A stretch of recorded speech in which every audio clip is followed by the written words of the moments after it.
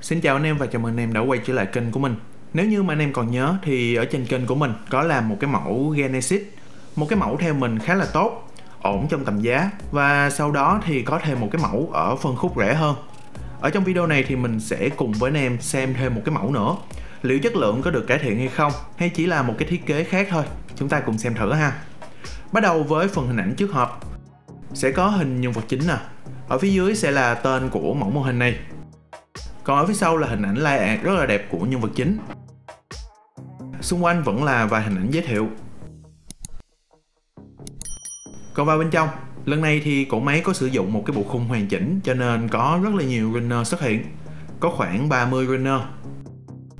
Cuốn sách hướng dẫn lắp ráp cái mẫu lần này thì được chia thành từng bước bao gồm khung xương bên trong sau đó là lắp giáp vào cuối cùng là phần phụ kiện với những cái bước như thế này, nhà sản xuất cũng dễ dàng giới thiệu được cái bộ khung bên trong. Phần decal hỗ trợ đi kèm. Có thêm một cái tấm hình để gắn vào phần chân đế. Runner trong suốt với hai màu, chúng ta có thể tùy chọn được. Phần runner màu kim loại. Màu này thì mình thấy giống như là màu bạc có một tí ánh xanh. Mình không biết khi mà cắt ra thì cái phần ghẻ có lộ quá không. Còn đây là độ sắc nét ở phần chi tiết. Với những cái mẫu trước đây thì mình khá là yên tâm về vấn đề này. Chỉ hy vọng là vị trí đặt những cái gai này nó không có khó chịu để dễ dàng xử lý hơn. Xem thêm một tí về chi tiết xuất hiện, sau đó sẽ đến với phần tiếp theo khi mà mẫu này đã hoàn thành. Như được giới thiệu ban đầu thì chúng ta sẽ có một cái bộ khung này trước. Khác biệt với những cái mẫu trước đây, bộ khung này sẽ có màu xanh, vài chi tiết màu vàng và màu bạc xuất hiện mình thấy bộ khung này khá là tốt. Chi tiết nhiều nè. Có những cái bê tông, dây dẫn. Những cái chi tiết tản nhiệt nhìn rất là đã. Nhưng mà bên cạnh đó thì có những cái chỗ được làm phẳng luôn.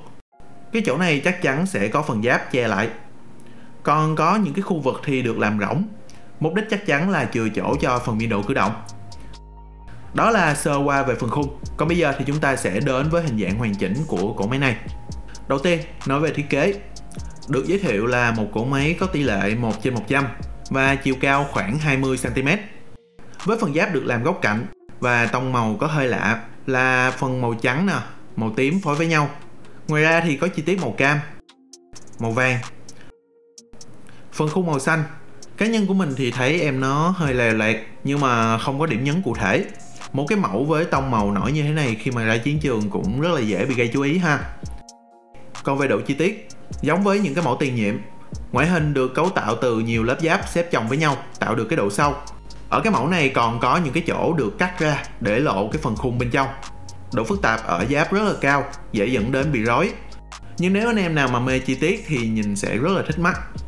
Còn nếu như mà chưa thỏa mãn được, thì đây là phần đề canh nước hỗ trợ. Sẽ có những cái họa tiết màu tím. Các cái cảnh báo màu cam, chủ yếu là để gia tăng thêm độ phức tạp thôi. Còn lại thì đây là đề canh dáng xuất hiện ở phía dưới của cái phần trong suốt này để tạo được cái độ sáng. Cũng có vài chỗ nhưng mà nhỏ lắm, không có đáng kể. Còn về những cái chi tiết được sơn màu kim loại, khi mà cắt ra sẽ lộ cái phần nhựa màu trắng bên dưới. Đây là phần mình đã chà nhám qua nào rất là dễ bị thấy, nhưng mà những cái chi tiết này đa số là nằm ở những cái góc khuất, cho nên đây cũng là một cái điểm cộng. Nhìn chung, những cái thiết kế này mình vẫn cảm thấy có hơi hướng Gundam Seed còn độ phức tạp thì vẫn dày đặc, nhưng mà cảm giác mang lại nó không có quá khó chịu. Và chỗ được tách màu mình thấy cũng rất là thích. Còn về quá trình lắp ráp, anh em nên cực kỳ chú ý với những cái khớp cử động. Không biết là chất lượng có giống nhau không? Cái mẫu của mình thì các khớp kết nối khá là cứng. Mình phải dùng nhám chà lại một tí. Anh em thấy cứng quá thì cũng nên xử lý nha, chứ đừng có dùng sức dẫn đến bị gãy. Và giống với trước đây, vị trí đặt gây của những cái chi tiết này vẫn khá là khó chịu, cho nên phải cần thêm một tí thời gian để xử lý thêm còn về độ khích ở những cái mảnh ghép hay là chất lượng nhựa mình thấy ổn, không vấn đề gì, cho nên anh em yên tâm. Đó là đánh giá sơ qua về tổng thể, còn bây giờ sẽ đến với chi tiết từng bộ phận. Trước tiên hết là phần đầu. Thiết kế lạ mắt với ba chi tiết cánh. Một trước, hai sau, và cái phần giáp nhọn màu cam ở phía chán. Cái phần mắt này thì có hỗ trợ bằng decal nhưng mà mình không có dán. Chi tiết xuất hiện cũng nhiều ha điểm nhấn mình thấy được đó chính là phần chi tiết mặt nạ màu xanh trong suốt nè được kết nối bằng một cái chốt nhỏ cho nên nếu như mà anh em không thích thì vẫn có thể tháo ra Tiếp theo là phần chi tiết ở dưới cầm này cũng có thể tháo rời ra được. Tính năng này thì chúng ta thấy được ở những cái mẫu trước đây rồi. Một cái kiểu thay đổi để phân biệt với những cái cỗ máy cùng loại. Còn đây là góc nhìn từ phía sau. Còn về khớp, trước tiên là phần sừng này có thể thay đổi. Chỉ ra được phía trước hoặc là xoay ra phía sau. Được kết nối với phần thân bằng chi tiết cổ, cũng được làm chi tiết máy móc với hai cái khớp tròn kết nối. Trên chính cái khớp tròn này cũng có thêm một cái khớp giúp cho phần đầu này có thể ngửa cao lên hoặc là cúi xuống. Xoay trái phải thì không có vấn đề gì hết. Tiếp đến là phần thân thiết kế góc cạnh có phần chi tiết màu xanh trong suốt ở giữa. Chúng ta có thể thấy được cái buồng lái phía bên trong luôn nè thiết kế ở phần giáp có những cái chỗ cắt để lộ chi tiết kim loại bên trong. Chi tiết hai bên ngực. Còn đây là góc nhìn từ phía sau. Đối với cái mẫu này thì mình ấn tượng nhất đó chính là cái phần khớp ngay chỗ eo, được chia thành nhiều đoạn kết nối, cho nên biên độ ở đây cảm giác cao hơn những cái mẫu khác. Một khớp ở trên cùng, khớp ở giữa, và có thêm một cái khớp kết nối với thân dưới khi mà gặp thì chi tiết giáp ở phía trước cũng sẽ di chuyển một tí để hỗ trợ thêm bộ khớp này cũng có thể lắc qua được hai bên nói với phần thân dưới, Thiết kế ở đây cũng có những cái chi tiết được cắt ra để lộ phần khung bên trong. Có đầy đủ những cái lớp giáp từ phía trước. Giáp ở hai bên thì giống như là dạng cánh máy bay. Và hai cái mảnh giáp ở phía sau. Tất cả đều nhìn rất là cơ khí. Còn đây là chi tiết ở mặt trong. Về phần cử động, giá phía trước này có bộ khớp, dở lên được rất là cao. giá phía bên hông có thể lắc nhẹ nè, còn có thêm một cái khớp để có thể đẩy ra được bên ngoài hỗ trợ trực tiếp cho phần cử động ở chân.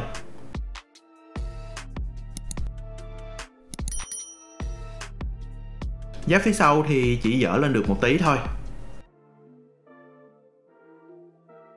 Tiếp theo là đến phần giáp vai và cánh tay chi tiết máy móc mình thấy rất là tốt nhưng mà về phần màu sắc thì không có đẹp quá nhiều màu sắc khi mà phối với nhau mình thấy cũng không có ưng mắt Giáp vai có thiết kế khá là đẹp. Phía trước có những cái chỗ lộ ra cái phần khung bên trong nè. Còn mặt sau thì độ chi tiết phức tạp hơn. Tách màu cũng rất là ok. Cái phần cánh tay màu trắng có chi tiết bên ngoài giống như là một cái dạng khiên trắng nhỏ ha. Bên còn lại thì có chi tiết máy móc. Còn nói về khớp, đầu tiên là chỗ kết nối với thân. Khi mà gắn vào, có thể kéo dài ra để gia tăng thêm cái biên độ cử động. Chỗ này thì anh em nên cẩn thận trượt nhẹ ngang qua để đúng cái khớp ha có thể xoay tròn được nè khi mà dơ ngang sẽ vướng cái chi tiết bên trong cho nên dơ lên khoảng 90 độ thôi phần giáp vai này thì có thể dở cao lên nhưng mà như lúc nãy anh em thấy cánh tay này cũng không đưa lên cao thêm được nữa hai cái mảnh giáp trước và sau có thể cử động. Phần giáp nhỏ. Khớp xoay ở cánh tay. Khớp gặp ở cùi chỏ. Đây là cái mặt sau khi mà gặp nè. Cái chỗ này cũng có thể xoay được một tí. Khớp ở cổ tay. Và chỗ kết nối với bàn tay. Cái bàn tay này thì giống với những cái mẫu trước. Ngón cái có thể cử động được. Còn bốn ngón còn lại thì có thể thay thế có bàn tay xòe, bàn tay cầm vũ khí. Ngoài ra còn có thêm một cái bàn tay tĩnh để cầm vũ khí. Lý do tại sao có cái bàn tay này thì đây. Cái bàn tay thay thế cầm súng này, ở mặt trong của ngón tay thì có khớp để hỗ trợ cầm vũ khí. Nhưng mà những cái món vũ khí đi kèm lại không có khớp kết nối vào. Cho nên chúng ta sẽ phải cần đến cái bàn tay tĩnh này. Tiếp đến là phần chân. Vẫn là thiết kế vuông vức với những cái chi tiết cơ khí xuất hiện. Và các phối màu mình cũng không có ưng được có thể một phần do cái bộ khung màu xanh bên trong cho nên tạo cảm giác nó hơi nhiều màu quá còn đây là những cái chi tiết máy móc nhưng mà cái phần mình thích nhất đó chính là cái phần cử động Trước khi gắn vào thì xem qua cái khớp có thể hạ xuống một tí nhằm gia tăng thêm biên độ cử động ở khớp háng. Khi mà gắn vào, tinh chỉnh một tí ở phần váy để có thể đá ra được phía trước. Với hỗ trợ ở phần khớp háng cho nên có thể đá rất là cao. Đá vòng ra phía sau. Điều chỉnh với bên hông để có thể dơ ngang. Khớp xoay ở đuôi và đây là cái điểm mình thích nhất, khớp ở gối. Với hai cái khớp kết nối cho nên phần này gặp rất là sát. Với cái khớp đầu tiên, chi tiết ở phần giáp đùi này trượt theo với phần khớp thứ hai khi mà gặp thì anh em xem cái chỗ này nè cái bít tông bên trong nó sẽ lộ ra ha chưa hết anh em xem cái phần giá phía sau tự động di chuyển theo luôn nè. Ban đầu sẽ trượt sau đó sẽ mở lên, lộ những cái chi tiết bên trong. Nhìn rất là đã đúng không?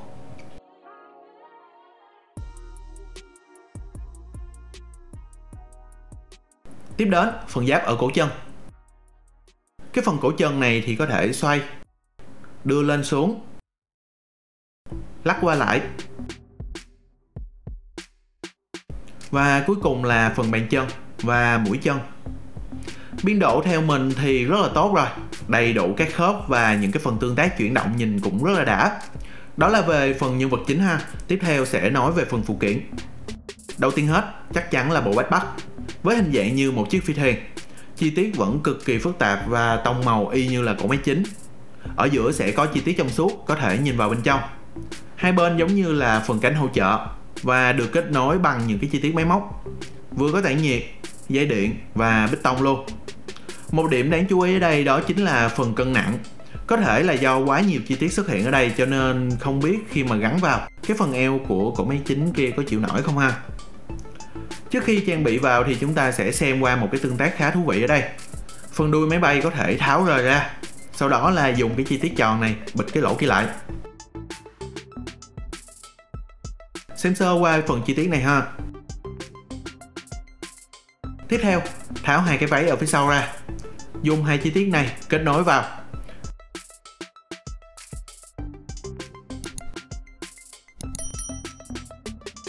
Và thêm một cái chi tiết nữa gắn ở phía dưới. Kết nối lại với nhau. Cuối cùng là gắn cái phần đuôi máy bay lúc nãy vào đây. Vậy là cổ máy chính của chúng ta được nâng cấp lên thêm một bậc rồi.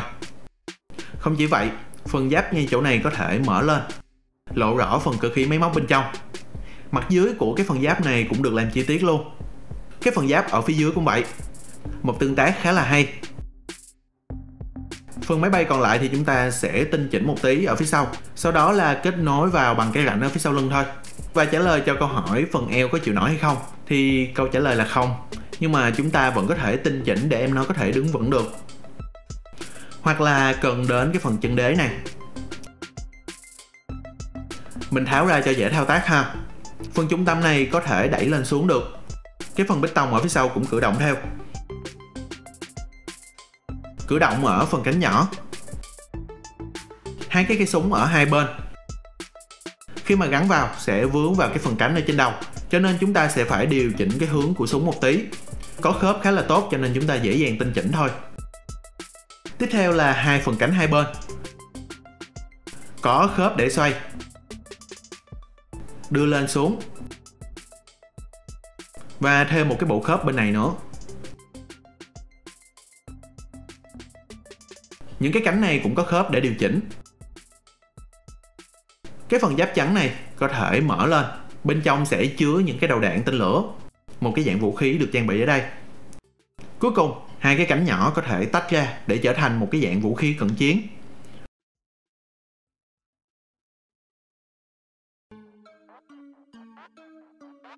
Hoặc là trở thành một cái dạng súng với cái phần nòng màu bạc nè. Nói về phần vũ khí luôn, trước tiên hết sẽ có một cái khẩu súng với tạo hình nhìn rất là lạ mắt. Có những cái chi tiết máy móc, phần dây điện, có cánh. Món vũ khí này còn có thể thay đổi được hình dạng bằng cách gắn những cái món vũ khí lúc nãy vào. Sẽ có 3 món gắn vào ba vị trí ở đây. Nhưng mà chưa dừng ở đó. Với cái hình dạng ban đầu, chúng ta sẽ xoay phần chi tiết này ra phía trước. Xoay lại để trở thành một cái dạng súng khác luôn. Anh em xem phần chi tiết bên trong nè. Rất là sáng tạo đúng không? Phần chân đế đi kèm. Giống với cái mẫu Genesis mình làm thì phần chân đế này có chỗ để gắn cái hình vào đây. Ngoài ra còn có thêm một cái chân chống riêng cho phần máy bay.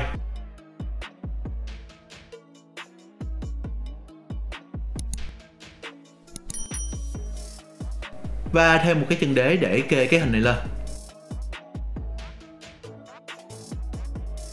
Cuối cùng, những xét của cá nhân mình. Như trước giờ thì mình vẫn thích những cái dạng đậm chất mechanic như thế này. Cho nên đây đều là những cái mẫu mà mình ưu tiên để trải nghiệm. Còn riêng về cái mẫu này, vẫn là cái thiết kế rất là máy móc độ chi tiết cực kỳ phức tạp, nhưng cũng sẽ có những anh em không thích do là nhìn cảm giác hơi bị rối. Màu sắc thì như mình có nói ở trong video, mình không thích cái màu này.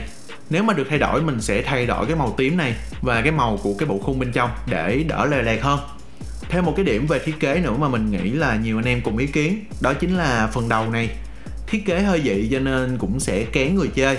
Và để khắc phục cho cái vấn đề này thì ở thời điểm hiện tại mình cũng biết có những cái hãng cho ra những cái thiết kế mới hơn nhìn cũng ưng mắt hơn, phù hợp với các em này. Nếu như mà anh em quan tâm thì có thể xem ở phần mô tả ha. Đó là về phần thiết kế. Còn về cử động, với cái mẫu này thì mình thấy biên độ làm khá là tốt. Ngoại trừ có vài chỗ hơi cứng, cũng có thể là nhà sản xuất cố tình làm như vậy để cổ máy nhân vật chính mang được cái bộ backpack ở phía sau. Còn nói về trải nghiệm, mình thấy mẫu này làm tốt. Mình thích cái bộ backpack và tương tác ở cái phần vũ khí. Nếu như mà có điều kiện thì mình sẽ làm thêm một cái bộ để hình dạng khác luôn và với tất cả những ưu và khuyết điểm như vậy, thì giá thành cho cái mẫu này mình thấy rất là tốt. Cho nên đây là huy chương của mình. Anh em quan tâm thì có thể tham khảo ha. Còn bây giờ thì cảm ơn em đã dành thời gian theo dõi hết video này. Xin chào và hẹn gặp lại ở những video tiếp theo. Bye bye.